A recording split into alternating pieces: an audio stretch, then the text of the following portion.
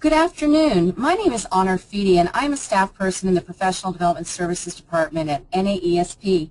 I'd like to welcome you to this afternoon's uh, wonderful webinar that we're having uh, with Dr. Lynn Scott on enhancing principal skills through sustainable mentoring programs. Today's webinar is being recorded uh, and should be available on our NAESP website uh, in 24 hours. So um, if in case you missed this, uh, it will be available. Um, I'd like to first um, tell you a little bit about Dr. Scott's background. Um, we are very pleased and honored to have such an experienced uh, speaker with us on this topic. Uh, Dr. Scott is a leadership development consultant who has worked uh, since 2001 um, on Principal Leadership Development Initiative for the Wallace Foundation. Um, he has an extensive background working with Wallace on numerous contributions to the Foundation's uh, support of school leadership initiatives. Uh, he's been a group facilitator for uh, Wallace's uh, Leading Change uh, through the learning community uh, of grant recipients and is currently one of three group facilitators of Wallace's professional learning community. Uh, with that said, uh, I would like to also uh, tell you a little bit about, um, this is a one-hour uh, webinar. Uh, in terms of handling questions, all of you are muted right now. Uh, if you would like to have a, have a question on something that Dr. Scott goes over, I'd encourage you to write in your question under our question box, which is located on your panel um, and we will get to it as soon as there's a break. Uh, this is going to be kind of a um, ongoing. Uh, we really encourage your dialogue, your questions, your feedback as we go through the webinar. But if there's something um, that you know we haven't answered sufficiently, we'll be glad to uh, take your question and come back to you after the webinar is over. So with that, uh, Dr. Scott, I will turn it over to you. Good afternoon, everybody. Um, it's really a good opportunity for me to, to share uh, what I've learned about mentoring programs and, and uh, what can be done to enhance their effectiveness and, and, sustainability. But before I begin, you know, I've really been just immediately reflecting on how peculiar the, the webinar concept and technology is. On the one hand, we're, you know, we're, we're already in the future talking uh, uh, over the internet, but the webinar kind of brings us back to the 1950s uh, television era where we're looking at these rather staid screens. So uh, again, I, my attempt is to try to make this as uh, both informative and, and interactive as, as possible.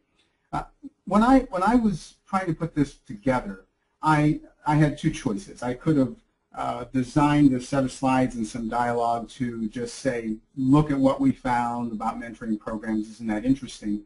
Or take the attempt, to make the attempt that I've done today, which is to really not only try to share information with you, but also a way of thinking about how to couch the, the argument for the value of mentoring. And uh, so I'll be sharing with you uh, sources of data, uh, data from different sources, as well as uh, really the logic that I've set up uh, that makes the most sense uh, to me. So if we could uh, go to the next slide. Uh, here's what I'd like to talk about today. First of all, as you see, make the case. How do we make the case? And many, there have been a lot written about mentoring for, for all kinds of leaders, but in particular for school principals.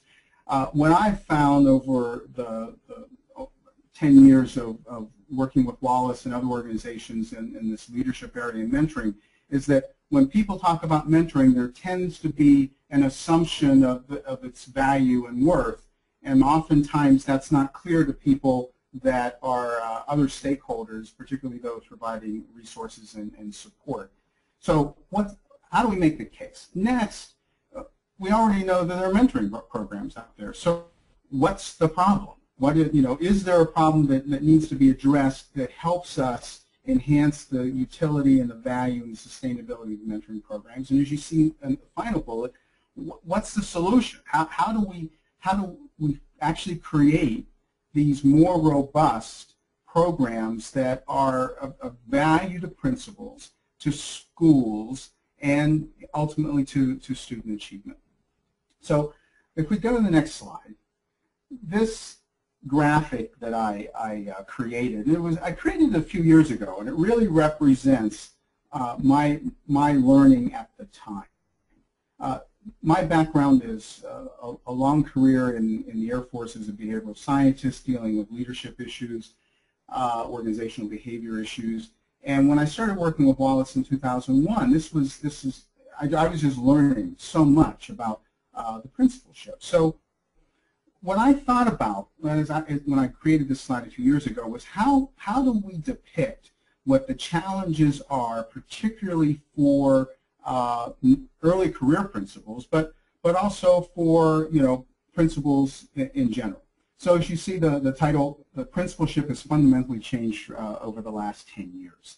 Uh, more responsibilities, more challenges, and what, what this graphic is to represent is you have this big arrow that is the theoretical arrow of performance. Someone comes out of an aspiring principals program, you would expect if they're just on that path uh, of, of, growth and development and wisdom, that, that they're at an optimal performance level. But the little line at the bottom represents how all these forces that inhibit this optimal performance.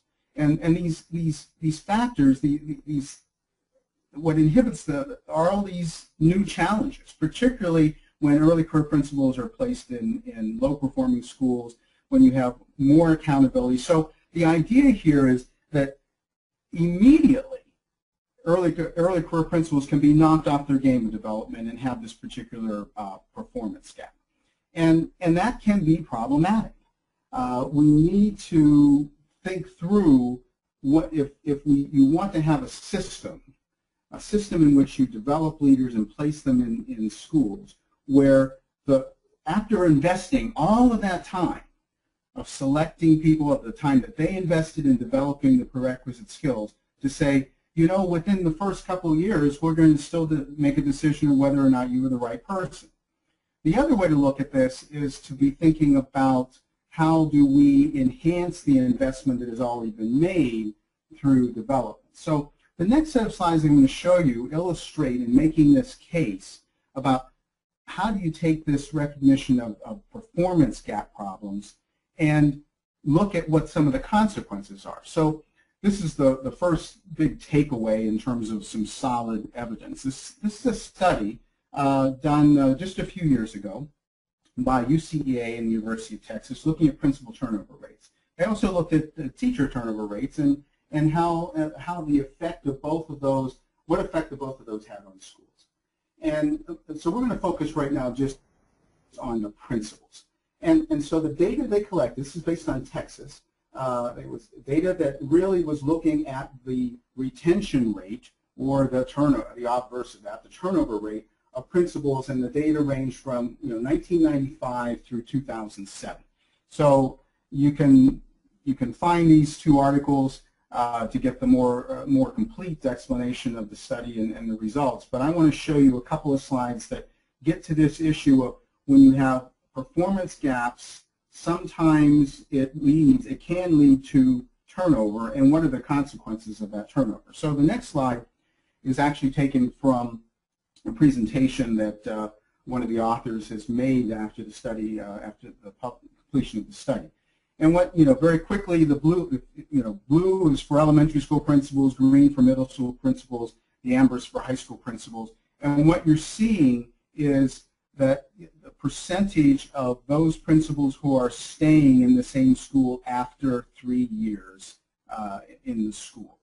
And this, while, while I will, I will acknowledge that it is possible that some of those principals have moved on to other positions in the, in the administration, one would think that, and the authors of the, the, the study think that this is more indicative of people actually leaving the position, either leaving uh, uh, of their own volition or being removed from the school because of, of, of, not being able to meet the challenges. So when you look at that bar, of 50%, you can see that, you know, looking at these different uh, cohort years, that we're really not, we're, not keeping, we're losing a lot of principals. At each, it's worse at the high school level than it is at middle school than it is at elementary school, but turnover is a problem. We go to the next slide. It's another view, and they created uh, a way, what they called a, a stability kind of view, where now we see the segments by each type of school, but tracking, you know, a cohort over over cohorts over five-year intervals. And again, when we just, it's not moved, it's not in the right direction. It just isn't in the right direction. So also in preparing for this, I ran across oh, commentary about this topic of turnover of principals. And it, I was very surprised to read some, some comments that basically represented the sink or swim philosophy, not the development philosophy, not the investment philosophy, but the sink or swim. So the attitude was, well, gee, I guess it's good to get rid of principals that can't, can't make the grade. And that's one way to look at it. But there are some, these authors, these researchers have, have also found that there are very serious consequences to the school when you have turnover that is represented in these particular numbers. So if we, we go to the next slide, what, what did they, they find? Uh, first of all, school reform takes time. Leaders, uh, principals are leaders in the school, and they are, are, are the major agent as a, in, in, the, in an organizational effort to reform a school. That is, that is the role of organizational leaders, to move an organization, to organize and motivate people, to find synergies that can allow an organization to achieve its objectives. So school reform takes time. And if the leader is constantly being cycled out for any number of reasons, that reform will be inhibited. Next, as you see in the second bullet, when you have high turnover of principals, it negatively affects teacher retention, teacher quality, and student achievement. Now we're, now we're moving down to the operational level of, of the school and the ultimate outcome that's supposed to come from the school, student achievement, when you have high principal turnover. And then the last bullet, just what, what is it that, that school leaders do, the principals do? They, they provide, they are an important element, a very critical element in developing trusting relationships among staff and students, more positive working condition, all of which they say are, are major contributors to teacher retention. So so in, in this attempt of saying, can, can you make the case?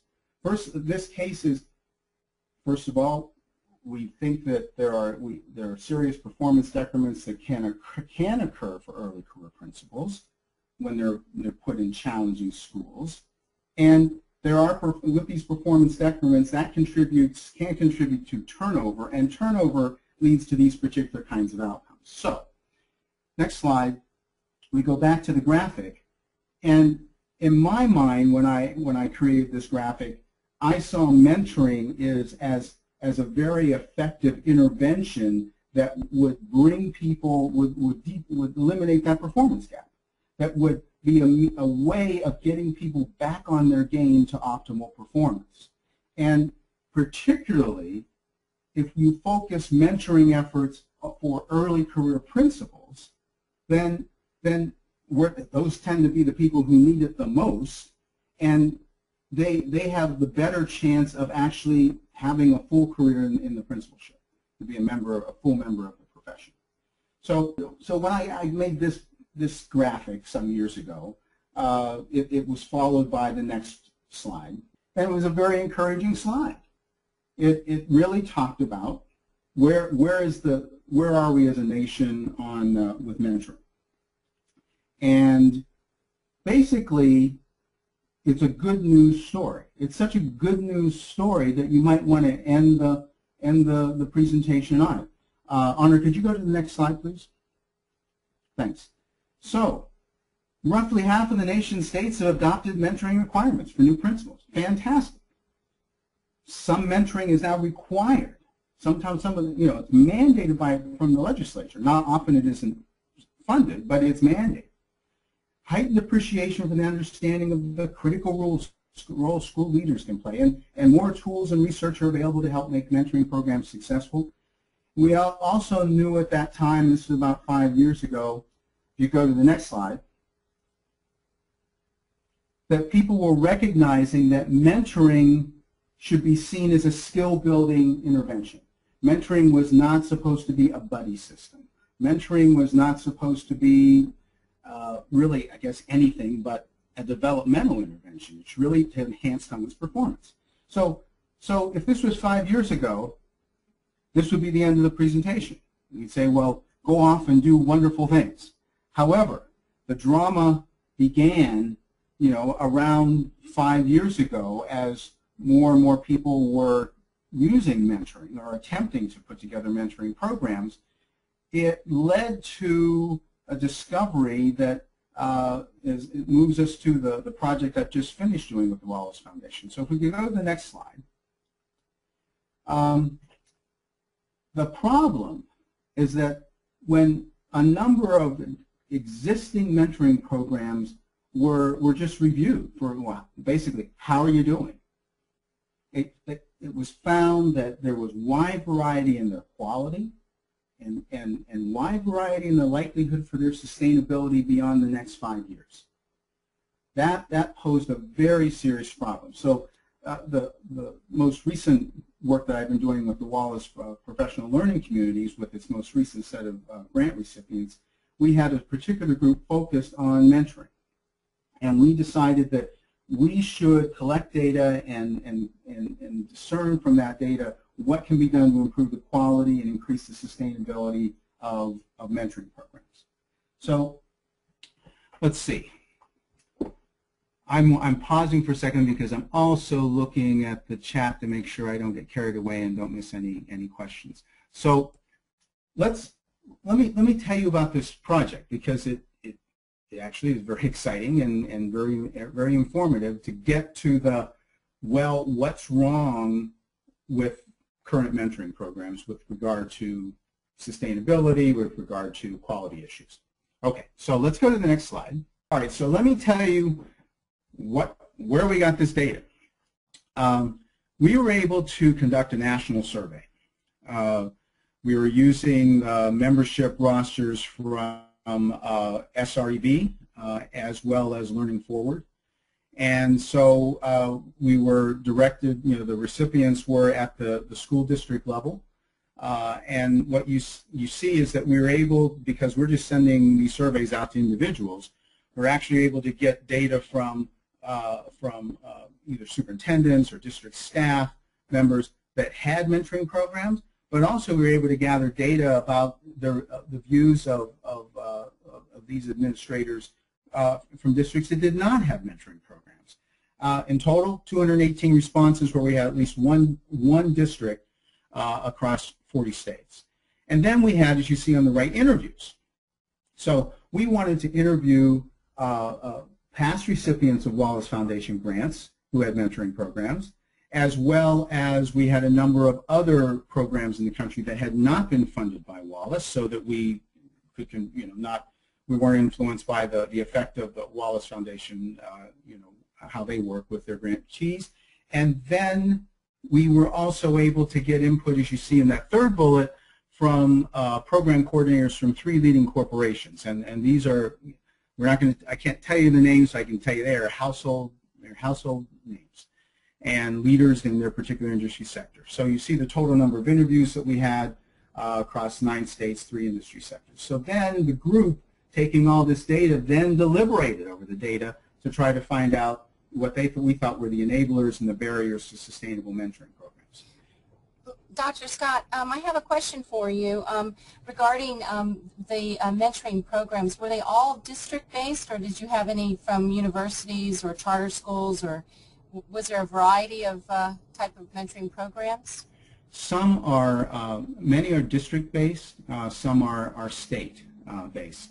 Uh, I'm, I'm, I'm trying to go through my mind very quickly because we had a question that, that, that asked, you know, where where at what level it was organized.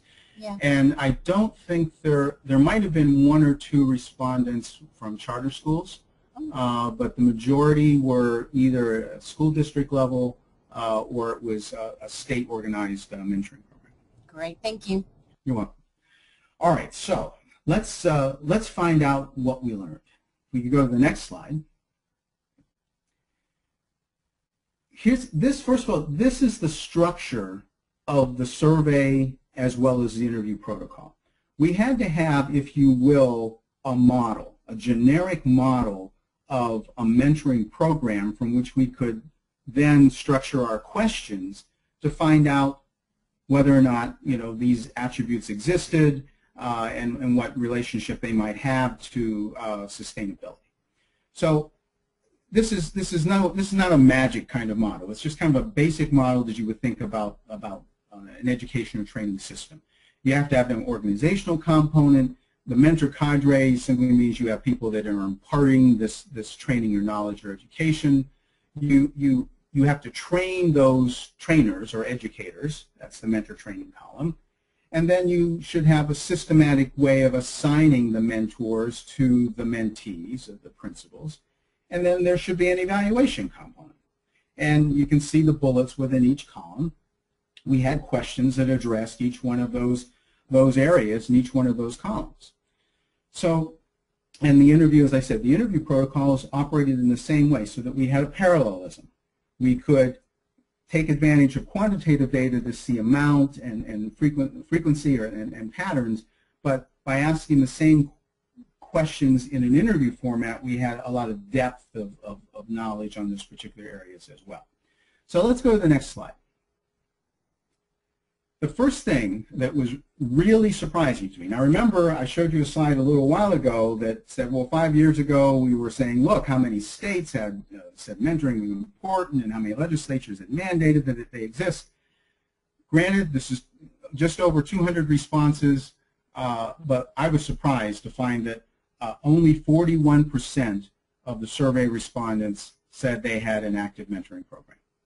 All right, now of those that did have the program, you see here, 21% of them were not funded. 24 did not uh, did not assess the mentor's performance. 26 of the percent of the programs uh, de dedicate funds to program evaluation. 32% did not expect, expect to even have the resources to go over the next for the next five years. And again, this wide variation in program designs and administration approaches that we learned from questions that ask them to describe their programs. So just off the top, there, there to me is a surprise. When one, one reads in, in other, other publications how widespread and, and how everyone takes is taken on the banner of, of mentoring, yet this rather small survey um, says may, may not be as, as prevalent as, as we think, and more importantly, that 21% of the programs were not funded. That, that, that means they're taking it out of hide. They are not paying for training. They are not paying stipends for mentors. In many cases, they are using mentors who are sitting principals. And so now we're asking people who are already busy to be busier and to try to find time to help somebody with their performance gap. That's laudable when people want to do it, but it's also an approach that can threaten the sustainability when when sitting principals say, I, I just can't do this. I, I've got to take care of my own school.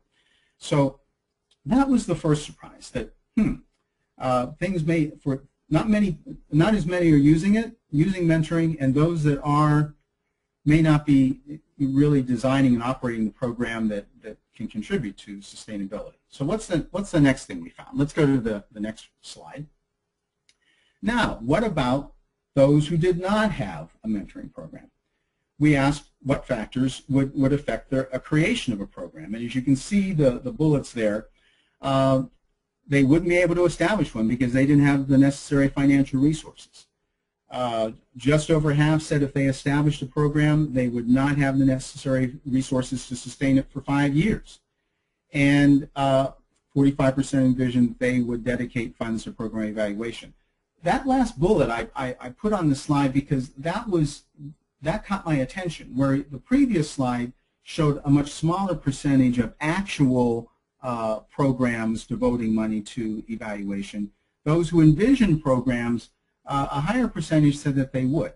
This issue of evaluation is extremely, extremely important, particularly in the area of, uh, of, of assessing utility, uh, effectiveness, and being able to make the case to stakeholders about the value of this particular form of intervention.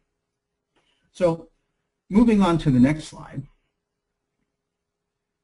we wanted to know we had a portion of the survey as well as the interview, but we're just looking at survey data now.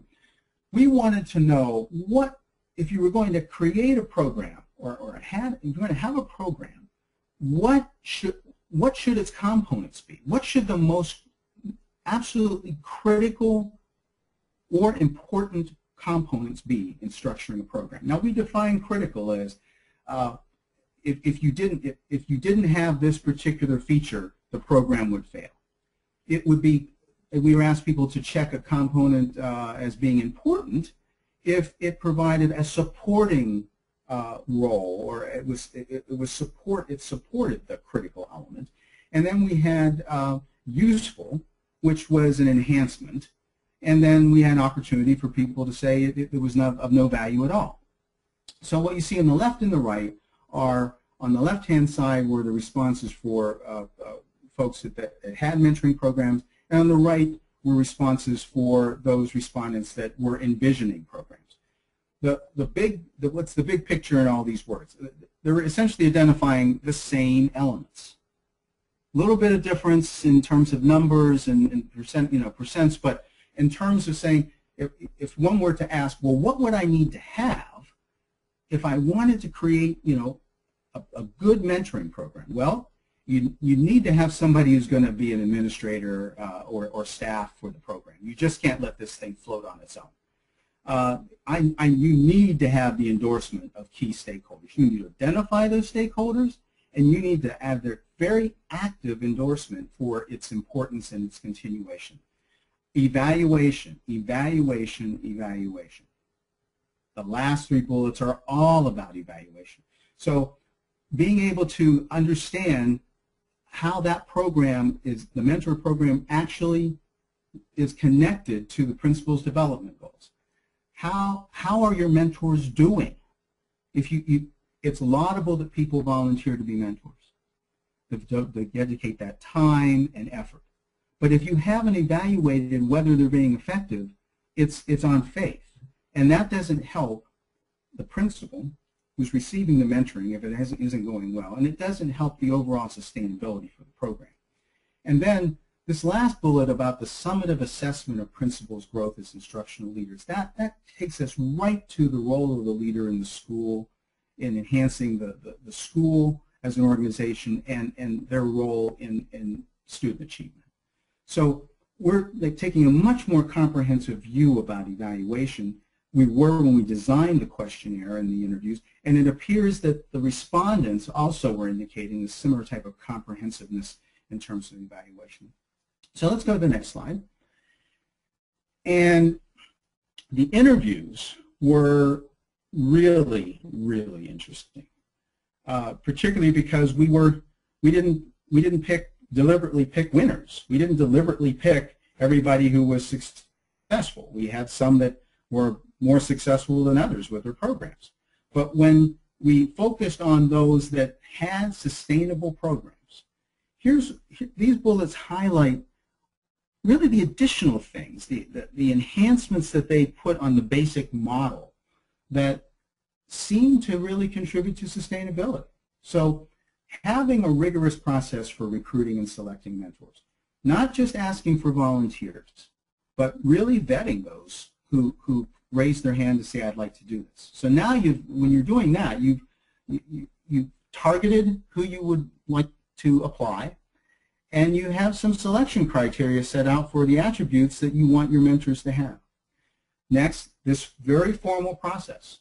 There are many ways in which you can uh, uh, establish a, a, a matching uh, protocol, whether that is strength to weakness, whether that is in a temperament type of match, whether that is uh, someone who uh, the mentor may have had experience in the same level or type of school as the mentee. There are many ways to do it, but matching is important. It's really, I was excited to learn about a number of programs that treat their mentor cadre as a learning community and provide opportunities for their interaction in learning and development so this, uh, this concept of professional development for the mentor cadre being just as important as mentoring is for the professional development of the, the principal. And then there are a few programs that now have their mentors doing more than just mentoring. Their mentors are more integrated into the professional development strategy and programs for school administrators. And so it enhances the mentor's knowledge of the complexities that the, the, of the district or the state, and it allows them, in many cases, to have greater credibility with not only the principals that they mentor, but the stakeholders as well. So that was uh, that was exciting. There, there are some great programs out there, and there's it's important to it's important to find them, highlight them, so that others who who want to enhance their programs can actually learn from what they've done. So. Lynn, Lynn, if I yes. could interrupt for just a minute, I had that's, these findings are incredible. I wanted to ask you a little bit about um, when you when you saw the processes for recruiting and selecting mentors, did you see a lot of variability, or were there some common themes for for you know what should be uh, recruit you know what would be a good uh, recruiting or selecting you know uh, procedures? I mean, was was it all over the board, or were there? Well, you know, I, I can't. I really can't answer that specifically. Oh, okay. I'll but I'll give you an example, and this is an example of a program that actually was not not in our study, this, but I know about the program. If you go to New Jersey's uh, Leaders to Leaders um, uh, uh, website, that is the site for their mentoring program. And it's kind of clear, they're, they're, pretty, they're very particular. Um, they have a very structured application form. They communicate that they're going to select. And so I think, I think just in general, following the, the sound rules for selection and uh, recruiting and selecting people of a, uh, to perform particular skills is that, that's a prudent way to do it. So let's think back to what's the purpose, you're serving the needs of a principal, um, the developmental needs of a principal. So first examining what that need set is for the principal, and then asking yourself, what kinds of people, what are the attributes of, of, of people that I need to look for who can best meet that need after they've received the training that I'm going to give them in, in being a mentor. So uh, uh, one, to piggyback on this example, let's go back to my comment about programs that use sitting principals. If you find that your uh, uh, principal population that you want to receive mentoring is a population that will need a lot of time because of the challenges that they face. Relying on sitting principals to provide the mentoring might, might fall short of the goal. They just might not have the time. Relying on retired principals who may have, may have more time might be an attribute. So time, availability is, is, a, is an important selection criterion and retired principals might be uh, a, a ready recruiting source in order to meet that particular need. So you really need to look at the, the particular group of uh, mentees and what their needs are first, don't you, to, to, to make that recruiting and selecting work? A absolutely. The focus, the focus is on, on the mentee. What, what, because now we're, we're, we're concerned about their performance. We're concerned about their development. So everything that you build in your program is dedicated to making that happen enhance performance, contributing to development. Instead of simply saying, I think we have a good mentoring program because 25 people signed up to be mentors. That's wonderful. Yes, I, I agree with you totally. That's wonderful. Thank you. Sure. So let's see. Uh, we talked about the, the, the, interviews with the schools, but we uh, let's talk about, I was going to talk about the, men, the, the interviews with, uh, with corp corporations. But let's see. Let's let, let's be surprised. What's the next slide throw? Yes. What did we find from industry? All right. Industry is always fascinating to me when compared to the public sector. Uh, and because so much of the so much it really is driven by the bottom line and and and this is an example of a positive feature of being driven by the bottom line those companies we interviewed, they had different levels of sophistication about their uh, for their mentoring programs. But what they were concerned about was enhancing the their their employees' abilities so that they could further the objectives of the company. All right, so you see the first bullet, mentoring programs are tied to a company culture of sustained investment in the workforce. The, the attitude is not, we hired you, but we're not sure, and we're going to use your job as an opportunity to determine if we made a good decision or not. The attitude is we hired you, we had a very rigorous hiring process, and now we, we want this program to ensure that you are going to add value to the organization. So having a company, having an organizational culture, now let's, we can say a school district culture, a State Department of Education culture, a school culture that is centered on an investment in people makes it a lot easier to support a mentoring program. And I, I can't think of a better environment that should embody that, that, that philosophy than a school. Uh, since we're investing in the development of children, we should continue that philosophy and expand it with the staff. So next, mentoring programs develop employees' performance in alignment with business strategy and business practices. How does that translate to what we're talking about here? It, it translates to the, the, the strategic plan of the district, the, the plan of the principal and the teaching staff to, to accomplish their particular goals. So that goes back to, well, who should I choose as a mentor? Choose mentors and have mentor training and a mentoring program that helps the principal achieve the strategy and, and, the, and the practice of, of, of education. And then, as you've read already, mentoring programs evolve based on program assessments, experience, company needs, and employee needs. There, you, you just can't say, we've got a program, I guess it'll work out fine. Uh, this gets right back to the evaluation. Gets right back to making, being really in touch with what principals are confronting in their, in their role in their schools and being able to say, let's make sure that this developmental intervention does all it can to eliminate uh, a performance gap. So let's let me let me shift now. I want to go to the next slide because what it allowed us, uh, what I want, what it, it, it, we're transitioning from. You know, we've talked about some problems. Uh, we've talked about what we found as, uh, as, as, in an exemplar uh, form in terms of through the interviews. But we also had another part of the survey that wanted the respondents to tell us about, uh, in essence, could you identify for us the unique attributes of mentoring? What, what gave it, what distinguished it, it mentoring as, as, a, as an, in its value when compared to other forms of development? And the other forms of development were traditional professional development programs and um, job-embedded professional learning communities. So we know that people go to traditional offsite training. Uh, we know that uh, professional learning communities are growing. So, you know, in essence, the hypothesis was that, you know, we, we uh, the null hypothesis is that there's no difference. Uh, it, somehow mentoring is just like one of the other two. Uh, what we were hoping to find is there's something that actually could be rather specific about mentoring that would allow you to say, let's go with mentoring or let's mix it in a way with these other two forms. So let's go to the, let's see what the survey says. All right, now on the left, let's just focus on the left-hand side.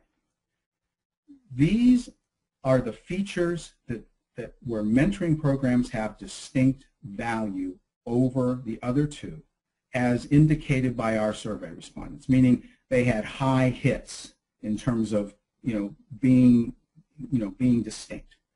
Um, so providing mentoring pro and, and so these are talking points. When someone says, why should we do any mentoring? I mean, there's all kinds of stuff out there to help people uh, you know improve their performance. Well, Mentoring provides principals with strategies to confront specific needs of schools. You don't have that when you go to a traditional uh, uh, professional development. It's, it's a generic or generalized type of presentation. The presenter isn't talking about your school. The mentor can. It offers, mentoring offers principals with expertise that can accelerate their development. If you've done a good job so recruiting selecting mentors, training them, matching them now that principal has somebody that can really zoom in on what the critical issues are that they're facing, what the root causes might be, and offers, offer strategies or ways of thinking through the problem that can accelerate their development.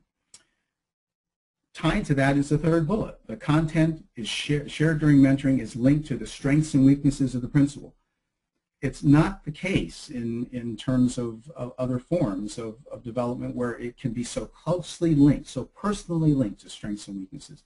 And the last bullet you've already read, mentoring is responsive to principals' learning and development needs.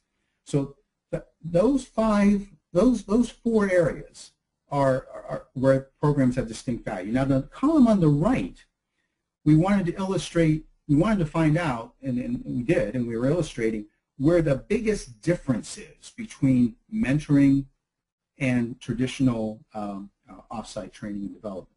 So you, you see that, again, mentoring is head and shoulders above traditional development on points one, contents linked to strengths and weaknesses, And number two, ensures that principals use what they learn to improve their leadership and teaching effectiveness. What, I, what that bullet means is that when you have a mentor, the mentor can come back and say, how did that go?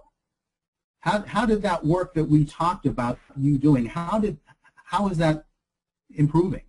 Is it improving? What do we need to do to make it improve? So you, I'm, gonna, I'm just going to let you, I'm going to let a couple seconds go by to, to let you finish reading what's on, on this right column so that when in the, you know, or write it down, so that when someone says, if you're an advocate for mentoring programs, you say, well, someone says, I like the old method better. Well, there are five areas where these survey respondents were able to, based on their responses, really show, you know, gave much more higher marks to mentoring over, over traditional development. So let's see how it compares to uh, professional learning communities. Let's go to the next slide. So the Items on the left column are the same as what you saw on the previous slide. This is where mentoring programs offer distinct value. But now, what we're showing on the right-hand column are areas where mentoring has a lot in common with job-embedded professional learning communities. And you see that this is where the difference in the re uh, responses was less than or equal to 2%. So they're almost the same in terms of availability to fit principal schedules. Almost the same in offering a geographically close form of development. Uh, the same in customization, almost the same in ensuring principals use what they learn to improve their leadership and teaching effectiveness, and almost the same in providing principals with the strategies to confront specific needs of their schools. So where the, where the professional learning community, what it, where it took this data in our deliberations was that ah, this may be an issue when we combine this slide and the previous one. This may be an issue of, of, of, of, of integration, meaning that this wasn't an attempt to demonize the other two forms. This was an attempt to understand where mentoring fell with the other two forms. And so this thinking it through in terms of a more of a system of development, there may be certain principles there may be principals in certain types of schools. There may be certain types of issues that, that principals face that lend themselves very well to mentoring, whereas other forms of other principals or problems or schools or districts may, may find that, well, professional learning communities or traditional methods are more appropriate. Some even have the idea that you could sequence them so that early career principals, for example, in their in initial years would have mentoring, and then they would transition to professional learning communities. And there would be a selection of what would be appropriate for offsite training. So this, this, these data open possibilities of how one can integrate mentoring into the total package of professional development, uh, uh, professional development and, and we, we also believe that that strategy could be very conducive to sustainability because now mentoring isn't this low-hanging fruit for its budget to be cut because it's just out there versus, well, it's part of our integrated strategy for development. So let's go to the next slide. So we're back to our pillars.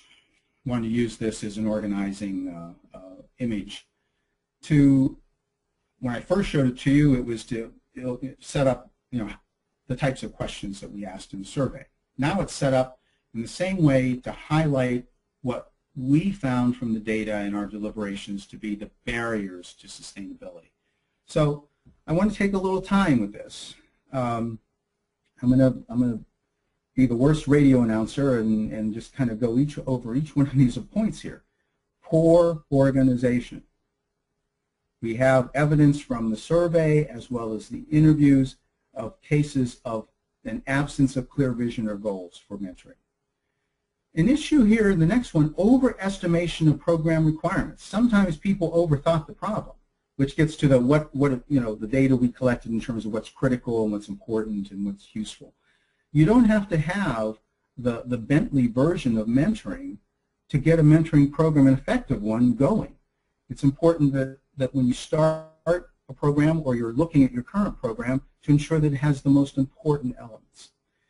I made a point already about this next one, lack of integration with other professional learning programs. If it's hanging out there by itself, the money's just going to go. It, it's In these times, it's very hard to support something unless you have overwhelming data. Uh, absence of funding and resources. Uh, something I didn't show show you was that we asked people uh, a question to, to identify where their major funding categories either were or what they envisioned to be the major funding categories for a program. And one of the responses was uh, either dedicating, uh, you know, uh, a person's time or, or other forms of resources to get money. Communication efforts to raise funding, advocacy. Very few current programs from our respondents are dedicating any time or money to get money. So that's a problem. Low stakeholder commitment, uh, and that, that's, that's hand in glove. You know, if you aren't advocating for money, then you probably aren't advocating with stakeholders uh, to, to get what you need for your program. So next column, mentor cadre with, with time constraints. When you overuse sitting principals, you're really undercutting your program. And so uh, there are other, there are other, as we put there, whether they're retired principals or if your training is robust enough, make an appeal to uh, community leaders to say, we will train you to be an effective mentor to an instructional leader. We will give you that training. And what we want from you is the time and the engagement to, to be a mentor at, to this leader. So there are other sources beyond sitting principals. Um, Sometimes the training and, is not. Um, could I ask yes. a question on the funding? Um, in your um, extensive knowledge, I mean, do you know if our states and districts, um, you know, with the whole Common Core, state standards and stuff, are they starting to think about resources and mentoring that might be put aside in this area, or is this still, you know, an issue? It, it, it's still an issue um, I, I, because I think that there hasn't, uh, there's, there wasn't a lot of evidence from our survey, and, and even with talking to people, you know, who have mentoring uh, program coordinators, many of them are saying, I don't know if I'm going to, where the money's coming from. There are some examples where, uh, for example, in the state of Alaska, this, this is a state that was not in our, our study, but I know from talking to the program coordinator, they're a line item in the governor's budget you know, the program, the program has survived for many, many years. Uh, it has never experienced a funding cut. He admitted that they, they could use a raise, they could use a budget increase, but they are able to demonstrate value so that it is in the governor's budget and it stays there. So there needs to be a much more uh, aggressive uh, recruitment of stakeholders. Getting back to you have to make the case. You have to build the convincing program and you have to begin collecting data that represents the need. And after you get the program going, or if you have one, you're collecting data to show its value so someone says, you know, I think we need to fund this. So it's still an issue. Um, so training, it's interesting how, how in some cases very little training is, is provided. Uh, if you're not, and again, very, very little rigorous matching um, seems to be uh, a problem. And, and it's it's extra work. If it goes back to if you don't have an administrator, you do not have a strong staff. You've just given an administrator uh, the fifth job for them to do. It's under, understandable that maybe there isn't time or money for uh, funding training. Maybe there isn't time to come up with a more robust uh, matching process. The last one, um, this is this is the uh, uh, this is the fatal blow. Limited or no evaluation. Uh, this you have to show value, and effective programs do, uh, both in in amongst in the education sector as as in in industry. So you'll notice the points here that we're raising about where you need to be developing you know these evaluation measures, uh, so that you're reporting a very if, if here's the one of the reasons from um, an operational standpoint evaluation is important if you find that something isn't working, you have a means to analyze why. If I've evaluated mentor training, if I've evaluated mentor selection, if I've evaluated mentor assignments, if I've evaluated principal development and have a way of connecting those together, if I don't see the gains that I can ex I'm expecting, I have a way of auditing back where the, the flaw might be in the process. Uh, without it, someone just says, I guess this just didn't work, and, and then it's gone. Okay, next slide, please. Um, also, you know, in thinking about this whole issue of uh, principle of evaluation, this might be, um, maybe this would be something that, you know, the Wallace Foundation would consider, you know, uh, pushing forward as more effective mentoring. Any well, thoughts I think, on that? Uh, well, I do. I, I, it's where it it has its value is um, first of all, when you have an evaluation system, you've already identified performance objectives for principals or anyone in getting an evaluation. So now, it, it, you may find that there are a subset of those uh, uh, evaluation areas that are very conducive to mentoring, particularly for early career principals. And so you, your development is already happening you don't use the evaluation as the surprise at the end of the year. Use the evaluation to say, this, this is the capacity we're building towards. And if you still find that a person, a principal, is, is, is deficient after the evaluation, you now have as well another area that to focus where appropriate your mentoring. You could also have professional learning communities, but I'm talking about mentoring today. The point is, how do you use an evaluation system to tie it to development? using an evaluation system to tie it to enhanced capacity, not how people tend to think about evaluation systems, which is how to, how to you know, blast somebody. Uh, it's always about bad news instead of saying, you know, I, uh, you know, Tiger Woods, you know, has somebody evaluating his swing, and then after it's evaluated, they start working on ways to improve it. So, last slide, next to last slide. What, what did we conclude? This this is what all of you have patiently been waiting for the final slide that says, well, what is it? What, what leads to sustainable mentoring programs?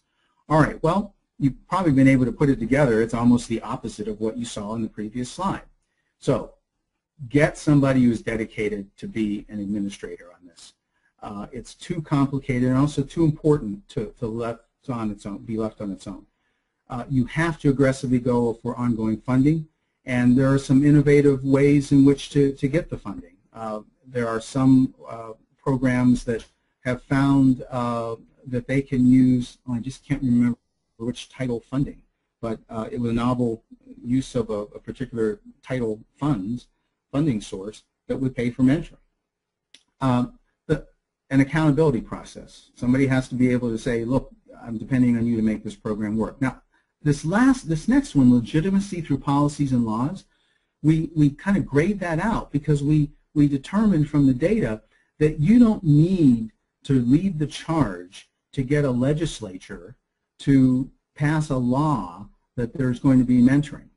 You, you know, that's almost, if that happens, it's great, but it's not uh, a precursor, necessary, you know, prerequisite to move forward. You can build your program and get that later, but, and then, because what do you have? Active stakeholder engagement. So uh, you know, I, am I'm, I'm talking and, and, you're, you're reading faster than I can talk. Uh, you, you see where, how, how from the data and our deliberations, these, these features, there's formality in the features. There's there's it's it's a much more comprehensive approach to designing a program, to operating a program. There's a tremendous emphasis placed on who you are training, choosing as mentored, and what skills you give them. And and then we go all the way to the right. Uh, have this have this evaluation grounded in a professional learning system. Have it focused on principals development. You're, you're not just saying, asking principals, well, how did you like your mentor? You really have to get to specific behavior change. Did, did this interaction with the mentor cause you to, one, think differently about your performance as an instructional leader? Did it motivate to change your behavior as an instructional leader? Did you change it? And can we see, uh, can we actually see the results of that changed behavior? And do we see a, continuous engagement with the, the mentor to ensure that all those things I just said happen and to make adjustments when they don't? Uh, when we look at the other aspects of the evaluation, do we see that that dedicated administrator is seeing that, wait a minute, I have a problem with my assignments. We're miss, we're, we have to do a better job of matching mentee to mentor to achieve the, the larger program goals that we want. When you when you have this type of evidence, you're gathering this type of evidence. Uh, the group, the professional learning community, concluded that you have a better, first of all, you have a, a better program, but most importantly, since this was an issue of also about sustainability, you have a better chance of being that line item in the governor's budget, figuratively speaking. You have an understanding by stakeholders of the need, of, its, of mentoring's value, and confidence that the program that's being created is going to ultimately accomplish the ends that, that, that everyone wants, was, which is enhanced student achievement, better schools and enhanced student achievement. We, that's really why we're doing all this. We're not, we're not even just starting, we're not just saying, we're just doing this so we can have a development program. You're having a development program so that you can enhance schools and then the leader can have an influence on student achievement. That's that's the kind of big picture of, of, of mentoring programs and sustainability. So let's go to the last slide. We, NAESP is, is now building, uh, and establishing an initiative to, to build sustainable mentoring programs uh, that are tied to performance. Uh, its early career supports mentoring program is going to, to as you see there, already leverage what NAESP has created many years ago, a mentor certification program.